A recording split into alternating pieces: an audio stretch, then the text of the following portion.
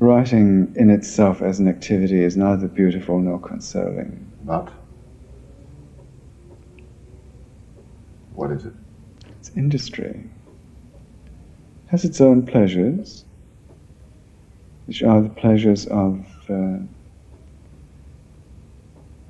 total engagement, hard thought, uh, verifiable activity, verifiable results, productiveness. That's the word. Productiveness. Hmm. Beauty and consolation belong not to the activity, but to the Yeah. to the results of that activity. Uh, the the book you write may or may not be be uh, have beautiful prose.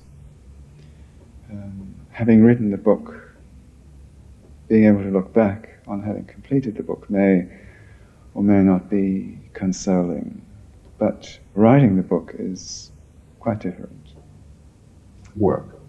Yes, it's good work. That's it. Because one isn't in writing uh, transforming the world into the world as it should be. Um, that would be too much of a task if one undertook it every time. Um, no, I think that grasping the world as it is, um, putting it in- within a certain frame, taming it to a certain extent, that is quite enough of an ambition. Taming. What do you mean? Taming, yes. Taming its taming its wildness, its disorder, its chaos. Uh, if we remembered intensely the times when we've been intensely suffering, we wouldn't want to live. Um, but speaking for myself, I haven't forgotten, uh, you know, miseries of my childhood, for example, just as I haven't forgotten the pleasures of my childhood.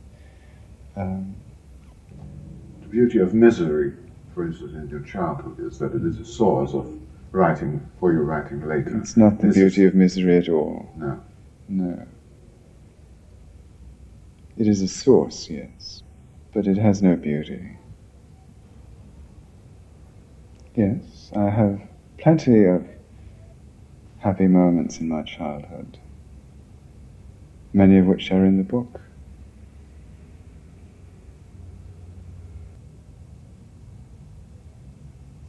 The richness of those moments depends very heavily on their being embedded in a certain life.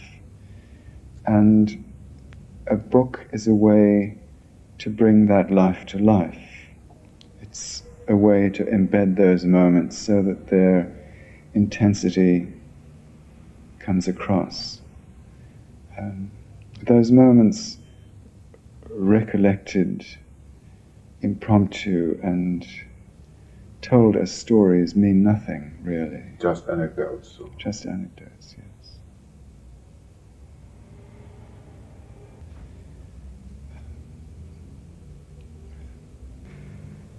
Ik vroeg, waar kijk je naar? Hij gaf geen antwoord. Ik ging dichter bij hem staan.